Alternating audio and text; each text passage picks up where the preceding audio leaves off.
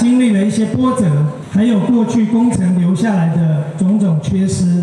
但是市主积极改善，机动转运站终于启用。市长谢国良算了一下，前朝没做好，他任内才搞定。不过同场民进党议长又把这脸洗回去。我要感谢林佑堂市长在任内大力的来规划。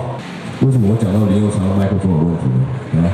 如此尴尬，当场交火，全因民进党前基隆市长林佑昌先发球，连书发文说这转运站任内九十九点七趴已完工，新任市长怎么没揪？因为我没有考量到他现在是一个党务的身份，跟一个呃交通呃设施要开幕，稍微比较。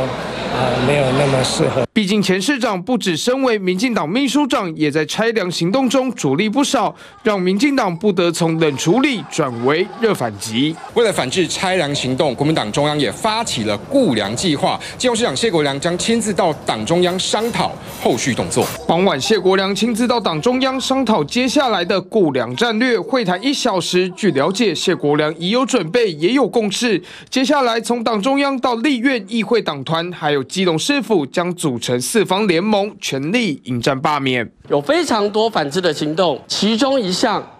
就是针对罢免同志委议长，除了蓝营动起来，白营也没置身事外。如果把个人的恩怨建立在来利用民众作为罢免，其实是非常不利的，也不好。蓝白河示范区民众党副市长大力相挺，而罢免团体喊话：虽收件已破四万门槛，但五号前目标收件百分之一百六十，拼过五万多的作为，未来补件数量。大罢免时代已箭在弦上。TVBS 新闻林玉成、庄凯玉基隆采访报道。